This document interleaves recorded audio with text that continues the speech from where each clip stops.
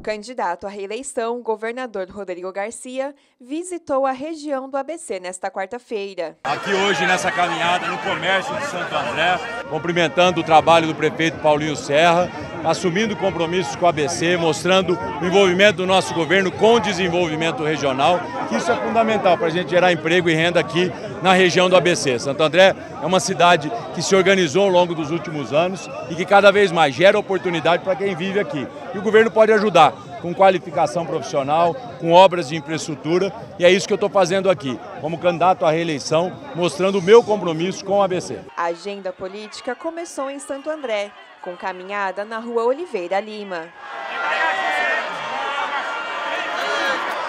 Em atendimento à imprensa, falou sobre o atual momento da campanha. Olha, a campanha está começando, eu peço que a população acompanhe os debates, acompanhe os programas de televisão, me siga nas redes sociais, Rodrigo Garcia Oficial, para que a gente possa mostrar as nossas propostas e comparar com os outros candidatos. Agora é que a população está se ligando na campanha do governador, na campanha do senador, está aqui o nosso Edson Aparecido, na campanha dos nossos deputados federais e deputados estaduais. É nesses últimos 30 dias que a população vai ver a importância da boa escolha para o futuro de São Paulo e destacou propostas para a educação. Primeiro, na área da educação, ampliar as escolas de tempo integral no ABC e fazer com que o ensino médio seja integrado ao ensino técnico, para que a gente leve o padrão das ETECs a todas as escolas do ensino médio de São Paulo.